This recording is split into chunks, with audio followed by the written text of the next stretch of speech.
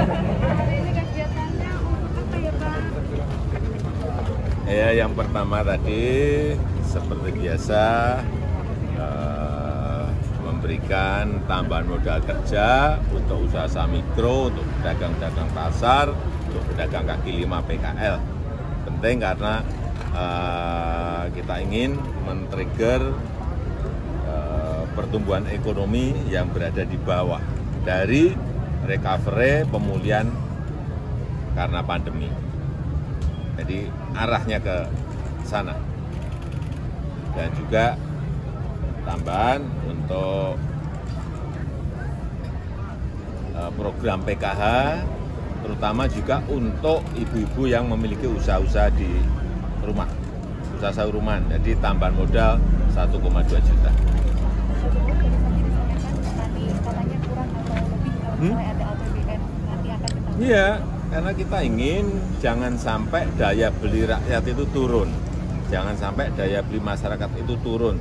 Sehingga kalau ada kelebihan di APBN, dari pajak, dari PNBP, dari pungutan ekspor, akan juga diarahkan untuk yang masyarakat yang di bawah ini juga memper- diperkuat daya belinya sehingga bisa nanti akan ada tambahan tambahan untuk mereka. Tambahan nominalnya? Tambahan nominalnya, belum. Oh, no.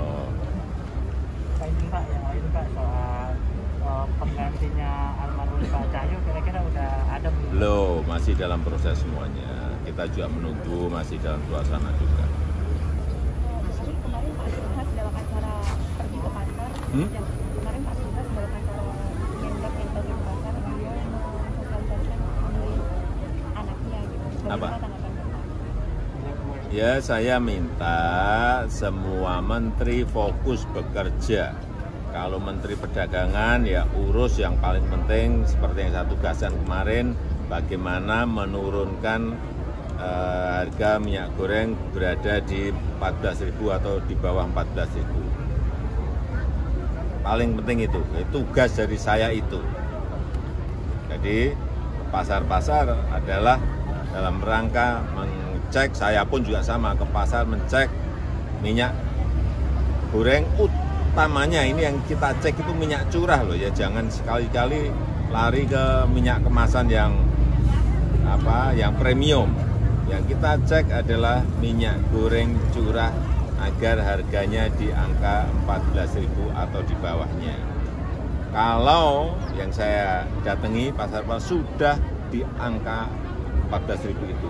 Kalau di luar Jawa ada yang masih di atas 14 ya, ya satu persatu akan kita selesaikan. Ya. Terima kasih. Pak Presiden. Sama semuanya.